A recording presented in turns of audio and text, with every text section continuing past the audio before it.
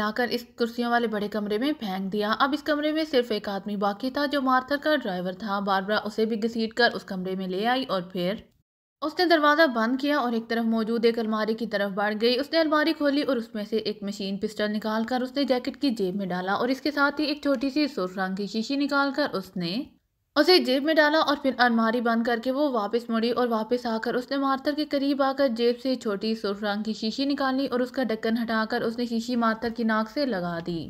चंद लम्हों बाद उसने शीशी हटाई और इसका ढक्कन बंद करके शीशी उसने जेब में डाली और फिर एक तरफ़ मौजूद कुर्सी पर इतमान से बैठ गई चंद लम्हों बाद। मार्थर के जिसम में हरकत के तासुरात नमदार होना शुरू हो गए और फिर वो तन कर बैठ गया। ये ये तुमने क्या किया? तुमने हथकड़ी कैसे खोल ली? ये तुमने क्या किया है? मार्थर ने रुक रुक कर कहा। तुम इंतहाई थर्ड क्लास आदमी हो। मार्थर ना जाने तुमने ब्राइट लाइट में किस किस्म की हिदमात सर अंजाम दी हैं कि तुम्हारे दिमाग में अकल नाम की कोई चीज़ ही नहीं है। तुम्हारा क्या ख्याल था कि मैं यूँ ही बेबस हो गई हूँ, मैं वहाँ भी रस्सियाँ खोल सकती थी। तुम्हारी ये हथकड़ी खोलना तो हमारे लिए इंतहाई मामूली बात होती। बहरहाल, मैं बिलासकी से यहाँ दारुल हुकूमत आना चाहती थी, इसलिए मैं खामोश रही और तुमने यहाँ आकर देखा कि किस तरह तुम बेहिस्सो हरकत हो गए और तुम अब यहाँ इस हालत में मौजूद हो। बारबरा ने कहा, तुम तुम भी तो वहाँ मौजूद थी, तुम क्यों? बेहिस्सो हरकत नहीं हुई। मार्था ने कहा, मैंने सांस रोक लिया था, बारबरा ने जवाब दिया हम्म ठीक है, मुझे एतराफ़ है कि मैंने तुम्हारे बारे में गलत अंदाज़ा लगाया, लेकिन अब तुम क्या चाहती हो? मार्थर ने कहा, मैंने मार्थर से वो फार्मूला वापस लेना है। तुम बताओ कि तुम मेरे लिए क्या कर सकते हो? बारबरा ने कहा, मैं क्या कर सकता हूँ? मैं तो इस मामले में कुछ नहीं कर सकता। मार्थर ने कहा तो फिर मेरे हाम हाँ वक्त आया क्या? बारबरा ने मुँह बनाते हुए कहा और इसके साथ ही उसने जेब से मशीन, पिस्टल निकाला और दूसरे लम्हे रेट रेट की आवाज़ के साथ ही फर्श पर पड़े हुए मातर के तीनों साथियों के जिस्मों में गोलियों की बारिशें उतरती चली गईं। वो सिर्फ़ मामूली से तड़प सके और फिर वो ख़त्म हो गए और अब तुम्हारी बारी है बारबरा ने मशीन, पिस्टल का रुख माथर की तरफ़ करते हुए इंतहाई सफाक लहजे में कहा। मम मम मुझे मुझे मत मारो। प्लीज़ तुम जो कहो मैं करने के लिए तैयार हूँ। मार्था ने इंतहाई खौफजदा लहजे में कहा, अपने साथियों को इतनी इस इसफाकी से अपने सामने मरते देखकर उसकी हालत। खौफ की वजह से वाकई बेहद खराब हो रही थी। मुझे फार्मूला वापस चाहिए अभी और इसी वक्त बारबरा ने सफाक लहजे में कहा, फार्मूला तो बास मार्कम के पास होगा, मेरे पास तो इस वक्त कुछ भी नहीं है। मार्थर ने कहा, कहाँ होगा? इस वक्त मार्कम बारबरा ने पूछा, वो अपने क्लब में होगा, वो वहाँ से कहीं नहीं जाता तहहाने में। उसकी रहाइश कहाँ है? मार्थर ने कहा, उससे फ़ोन पर बात करो और ये कंफर्म करवा दो कि फार्मूला अभी भी इस वक्त उसके पास है और वो वहाँ मौजूद है तो तुम्हें ज़िंदा छोड़ा जा सकता है, वरना नहीं।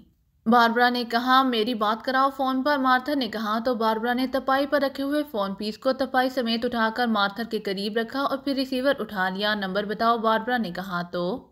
मार्था ने नंबर बता दिए, उसने फ़ोन नंबर प्रेस किए और आहर में लाउडर का बटन प्रेस करते हुए रिसीवर मार्थर के कान और कांधे में एडजस्ट कर दिया और खुद कुर्सी पर बैठ गई। लाउडर की वजह से वो दूसरी तरफ़ बजने वाली आवाज़ बाहूबी सुन रही थी। यस, हॉपर बोल रहा हूँ। चंद लम्हों बाद रिसीवर उठाने के साथ ही एक मर्दाना आवाज़ सुनाई दी तो मार्थर बेख्तियार चौंक पड़ा।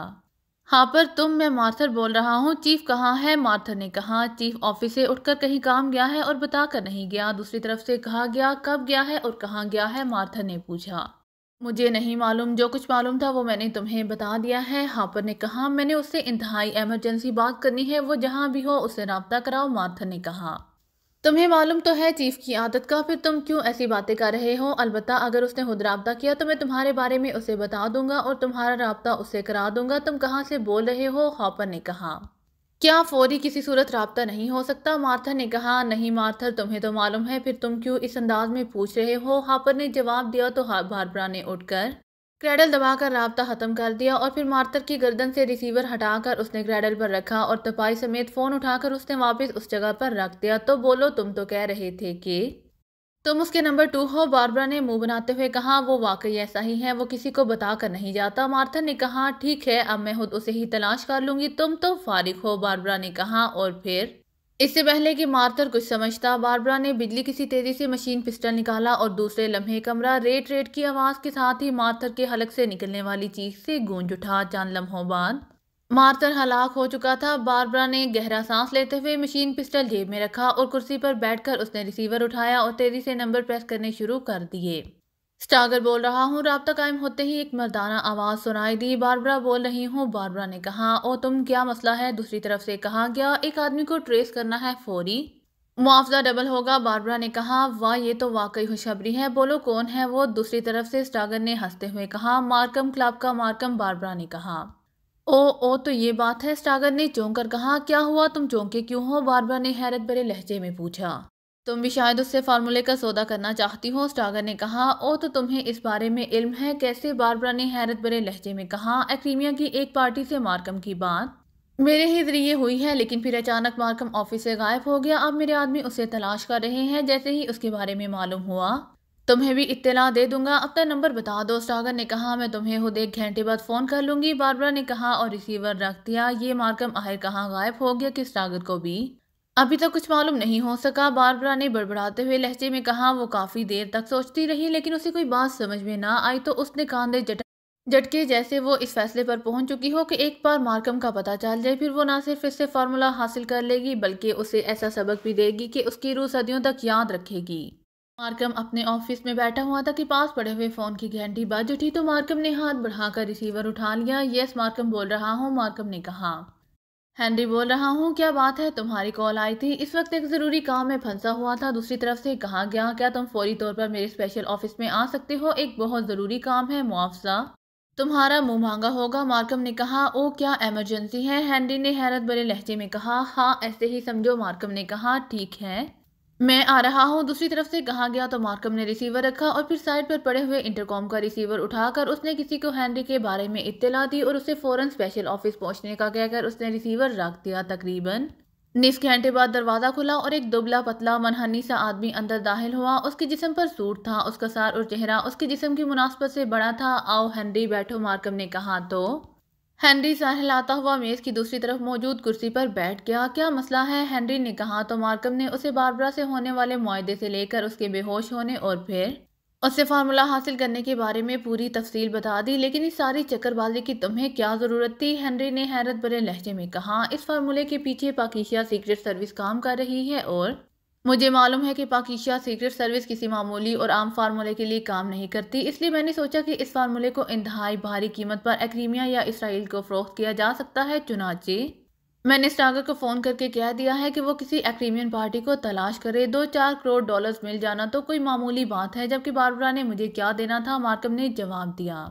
बारबरा सरकारी एजेंट है, हैंडी ने कहा, मुझे मालूम है जिस एजेंसी में वो काम करती है, इसमें मैं भी काम कर चुका हूँ। बारबरा को मैंने यहाँ से दूर एक आदमी के पास भिजवा दिया है, उसे वहाँ हलाक करके दफन कर दिया जाएगा और फिर कभी ब्राइट लाइट को ये मालूम नहीं हो सकेगा कि बारबरा अचानक कहाँ गायब हो गई, मार्कम ने कहा, और वो पाकिशिया सीक्रेट सर्विस वो तो सुना है, इंतहाई खतरनाक लोग हैं। हैंडी ने कहा, मुझे मालूम है, लेकिन वो बारबरा को अभी तक तलाश नहीं कर सके। इसलिए वो बारबरा को ही तलाश करते रह जाएँगे। वो मुझ तक तो किसी सूरत भी पहुँच नहीं सकते, मार्कम ने जवाब देते हुए कहा। तो तुम अब मुझसे क्या चाहते हो? हेनरी ने कहा, सिर्फ़ इतना कि तुम वो फार्मूला अपने पास मेरी अमानत करके रख लो। मुझे मालूम है कि तुम अमानत में हयानत नहीं करते। तुम्हारे पास वो महफूज भी रहेगा और किसी को शक भी नहीं पड़ सकेगा कि फार्मूला तुम्हारे पास है। मुआवजा जो तुम कहोगे, वही तुम्हें दिया जाएगा, मार्कम ने कहा। लेकिन अगर तुम पाकिशिया सीक्रेट सर्विस के हाथ लग गए तो? उन्होंने तुमसे फ़ौरन मालूम कर लेना है कि फार्मूला कहाँ है, और इस तरह मैं भी उनके निशाने पर आ जाऊँगा, और तुम्हें मालूम है कि मैं किसी भी तरह किसी से लड़ने वाला आदमी नहीं हूँ, और ना ही उनके तशद के आगे ठहर सकता हूँ। ऐसी सूरत में अगर वो मुझसे फार्मूला ले गए तो फिर मेरे असूल का क्या होगा? हैंनरी ने कहा, तुम्हें मालूम नहीं है, लेकिन मुझे मालूम है कि बारबरा के दरमियान से गायब हो जाने से वो लोग मुझ तक पहुँच ही नहीं सकते और अगर बिलफर्ज महाल पहुँच भी गए तो मैं तरबियत याफ्ता आदमी हूँ, इसलिए मैं उन्हें हर लिहाज से मुतमिन कर दूँगा कि मेरा किसी फार्मूले से कोई ताल्लुक नहीं है और अगर उन्होंने फिर भी तशद किया तो मैं तशद सहने का एस एस सुपर कोर्स किया हुआ है, इसलिए तशद से मेरी ज़ुबान नहीं खुलवा सकते। इसके बावजूद अगर वो तुम तक पहुँच सकते हैं तो फिर मेरी तरफ़ से तुम्हें इजाज़त है कि तुम उन्हें फार्मूला दे सकते हो। मार्कअप ने कहा, गुड, अब बात बन गई है। वैसे तुम बेफिक्र हो फार्मूला, अब वो मुझसे क्या मेरी रूह से भी नहीं उगलवा सकते? अलबत्ता, एक और बात बता दो कि अगर तुम उनके हाथों हलाक हो जाओ तो फिर ये फार्मूला मेरी मलकियत होगा। हैंनरी ने मुस्कुराते हुए कहा, ठीक है, इजाज़त है। मार्कम ने मुस्कुराते हुए कहा, ओके, कहाँ है फार्मूला? मुझे दो और। बेफिक्र हो जाओ, मुआवजा एक लाख डॉलर होगा और वो भी पेश की और नकद। हेनरी ने कहा तो? मार्कब ने कोर्ट की अंदरूनी जेब से तयशुदा फ़ाइल निकालकर हेनरी की तरफ़ बढ़ा दी। हेनरी ने एक नज़र फ़ाइल को देखा और फिर उसने इसे अपने कोर्ट की अंदरूनी जेब में डाल लिया। उसने मार्कब की मेज़ की दराज से एक चेक बुक निकाली। इसके एक चेक पर रकम लिखकर उसने दस्तखत किए और चेक बुक से चेक अलहदा किया और उसे हैंडी की तरफ़ बढ़ा दिया। हैंडी ने चेक लेकर एक नज़र उसे देखा और फिर उसे भी तय करके उसने इसे जेब में डाल लिया। एक मशवरा दूँ तुम्हें, मेरे ख्याल में ये तुम्हारे लिए ज़रूरी है। हैंनरी ने कहा, क्या मार्कम ने चौंक कर कहा, जब तक पाकिस्तान सीक्रेट सर्विस यहाँ मौजूद है, तुम यहाँ से आउट रहो, ये लोग? नाकाबले यकीन अंदाज में आगे बढ़ते हैं और वो बारबरा के पीछे लगे हुए हैं। तो इस बात को सौ फ़ीसद यकीनी बना लो कि वो तुम तक पहुँच जाएँगे और इस फार्मूले का सौदा भी। किसी से उस वक्त तक मत करो जब तक ये लोग मायूस होकर वापस नहीं जाते। हैंनरी ने कहा, वो आसानी से वापस नहीं जाएँगे। मार्कम ने कहा, मुझे मालूम है, लेकिन ये बारबरा यकसर गायब हो जाएगी तो वो यही समझेंगे कि बार बार क्रांस चली गई है, इसलिए वो इन्हें क्रांस ढूँढने जाएँगे। फिर तुम सौदा करके फार्मूला आगे फरोख्त कर देना, इसके बाद तुम महफूज हो जाओगे। लेकिन एक बात का ख्याल रखना कि इस जगह चुकना कि जिसका इल्म सवाए तुम्हारी ज़ात के और किसी को ना हो, और इस दौरान रबता ना रखना, इसमें ही तुम्हारी बचत है। वैसे तुम अपनी मर्ज़ी के खुद मालिक हो। हैंनरी ने उठते हुए कहा, ठीक है, तुमने दुरुस्त मशवरा दिया है, मैं इस पर अमल करूँगा। मार्कम ने कहा, फ़ायदे में रहोगे। गुड बाय, हैंनरी ने मुस्कुराते हुए कहा, और कमरे से बाहर निकल गया। मार्कम चाँद लम्हे बैठा सोचता रहा। फिर उसने मेज़ की दराज खोलकर उसमें से ट्रांसमीटर निकाल कर इस पर एक फ्रीक्वेंसी एडजस्ट की। Hello hello Markham calling over. Markham ने बार बार कॉल देते हुए कहा। यस मार्थर बोल रहा हूँ। ओवर चार लम्हों बाद दूसरी तरफ़ से उसे अपने असिस्टेंट मार्थर की आवाज़ सुनाई दी। तो मार्कम ने उसे बारबरा को हलाक करके किसी वीरान जगह पर दफन करने का हुक्म देकर ट्रांसमीटर ऑफ़ कर दिया और इस तरह उसे यकीन था कि मार्था लफ्ज़ ब लफ्ज़ उसके हुक्म की तामील करेगा और इस तरह बारबरा का सुराग हमेशा के लिए ख़त्म हो जाएगा। उसने ट्रांसमीटर ऑफ़ करके उसे मेज़ की दराज में रखा ही ताकि फ़ोन की घंटी बाज उठी तो।